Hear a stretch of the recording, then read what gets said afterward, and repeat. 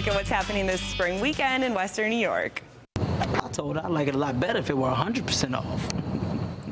No sports this weekend at First Niagara Center, but plenty of entertainment. Comedian Kevin Hart and his What Now tour stops by tonight. They had to add a second show for this one. The first is at 7 and the second one is at 1030.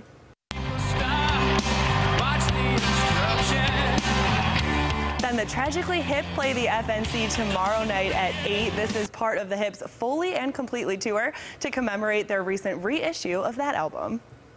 Listen, don't worry about it, okay? I'm going to put you down as the primary resident, okay? Um, now, are you One of the most recognizable faces in SNL history will be at the Helium Comedy Club for the weekend. Tim Meadows will be doing stand-up twice tonight and twice more tomorrow. Showtimes are at 7.30 and 10. And wine lovers will want to get to the Convention Center tomorrow to raise a toast to one of our area's strongest industries. The Buffalo Wine Festival features tastings from dozens of local wineries. There are two sessions and tickets are still available.